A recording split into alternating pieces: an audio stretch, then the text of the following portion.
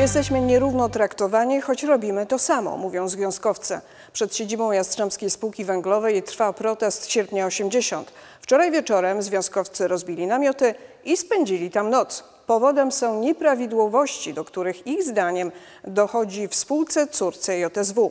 Więcej w materiale Fatimy Orlińskiej. W spółce córce Szkolenie i Górnictwo podlegającej Jastrzębskiej Spółce Węglowej zatrudnionych jest blisko 2000 osób i to w ich obronie protestują związkowcy. Jak mówią, oczekują wyrównania wynagrodzeń dla tych, którzy wykonując tą samą pracę otrzymują dużo mniejsze wynagrodzenie. W pierwszej kolejności chcą jednak rozmów z przedstawicielami Jastrzębskiej Spółki Węglowej. Chcemy doprowadzić do sytuacji czystej, klarownej, kiedy e, pracownicy SIG-u, którzy mają duże doświadczenie górnicze, pracują w, tym SIG-u e, przez 3 miesiące, mogą przejść pod Jastrzębską Spółkę Węglową.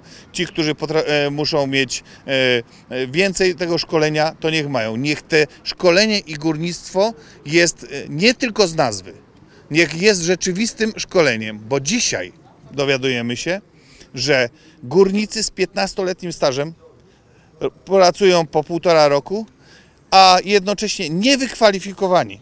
Ci, którzy przyszli z nadania, e, są przenoszeni e, do, pod spółkę e, i nie wiadomo, jakie, jakie są kryteria i zasady tutaj stosowane. Problem ma polegać na tym, że wielu górników, jak sami przyznają, utknęło na etapie szkoleń, a w JSW nie mogą otrzymać zatrudnienia przez nawet 2-3 lata. To z kolei przekłada się na wysokość wypłat. 100% mniejsze wynagrodzenie, traktuje się tych ludzi jako pracowników trzeciej kategorii, idzie z kolegą z kopalni, wykonują tą samą pracę, yy, tak samo ryzykują życie, no ale widocznie życie kolegi SIG-u jest mniej warte, no bo jemu się płaci 100% mniej, nie ma szeregu świadczeń, yy, które mają pracownicy z kopalni, nie mają 14 pensji, yy, tam są jakieś dodatkowe wytyczne, żeby mógł barburkę dostać. Związkowcom do tej pory nie udało się porozmawiać z prezesem JSW. Jak wynika z ich relacji w kadrach mieli usłyszeć, że na spotkanie trzeba się umówić, gdy jednak chcieli to zrobić, powiedziano im, że prezes nie ma czasu.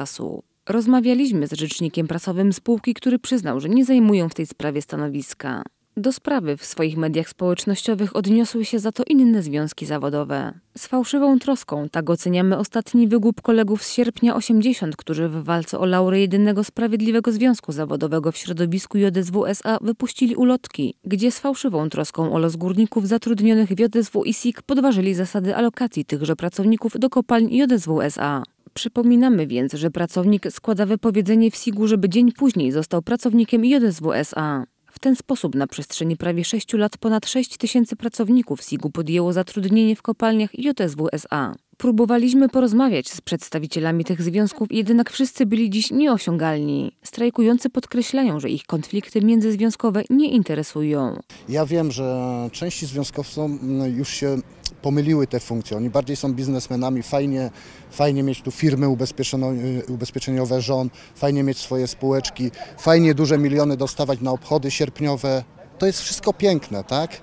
Na, na porozumienia jastrzębskie, miliony brać ze spółki na organizowanie imprez, zapraszanie polityków. Zresztą mm, też czekamy na reakcję naszych polityków e, ze Śląska.